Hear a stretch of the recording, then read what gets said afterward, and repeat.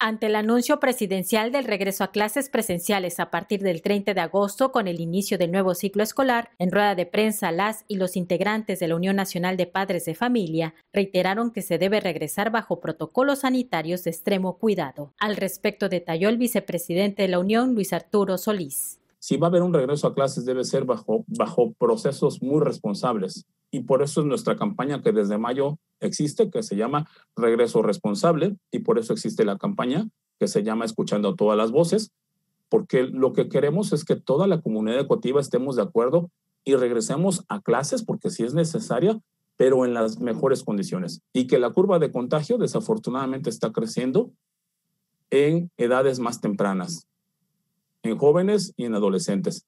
También la Unión Nacional de Padres de Familia manifestó su rechazo al proyecto de la norma 237, la cual generará una sobreregulación en la educación particular cuyos costos tendrán que ser absorbidos por las familias.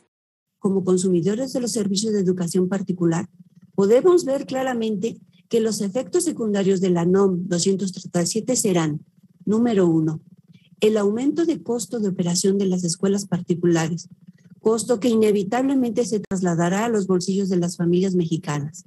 Y número dos, la desaparición de escuelas en el marco de la emergencia sanitaria generadas por el COVID-19, lo que terminará afectándonos también.